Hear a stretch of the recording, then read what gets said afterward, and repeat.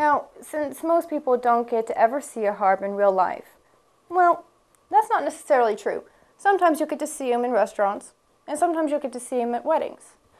But rarely do people actually ever go up to the harpist and talk to them.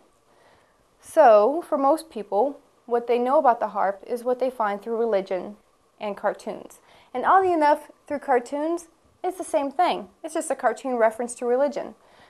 Certain cartoons, when I was a kid, was famous for using angels and harps, little tiny cherubs, or when a character died and he'd float up to heaven, he'd always be playing a harp. These are all religious references.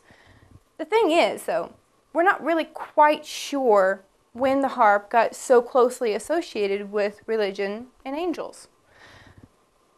One could venture to guess that, or one theory really, is that because the harp grew in popularity in the 15th century when religion was so high and so powerful and so part of the culture.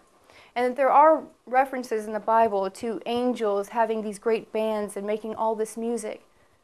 And then you add the simple fact that the harp, well, it kind of does sound angelic.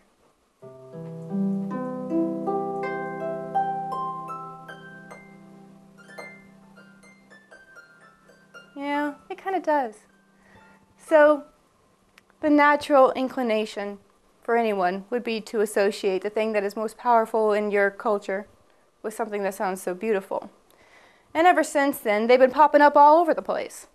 Angels, cherubs, cartoons, little tiny figurines, we're everywhere. But you also get it associated with fairies. And this is kind of a new reference, but they get a magical power when associated with fairies, and you know what? I kind of think that's right on.